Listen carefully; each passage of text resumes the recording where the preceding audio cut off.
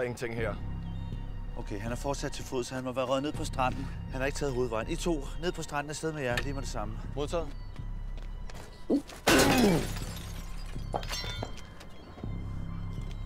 Der er heller ingenting her.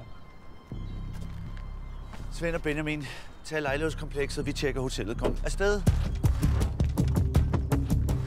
Du tager trapperne, og jeg tager elevatoren. Vi ses op på fjerde.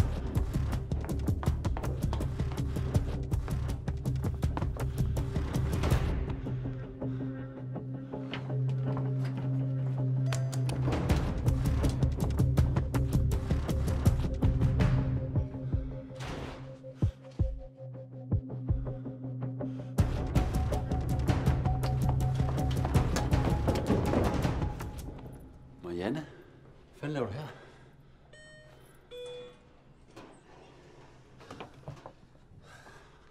Hej, skat. Hej.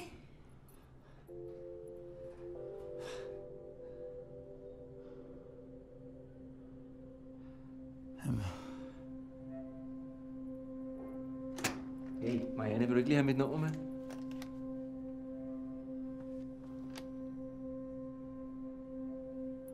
Dan, jeg tror, du skal køre mig hjem.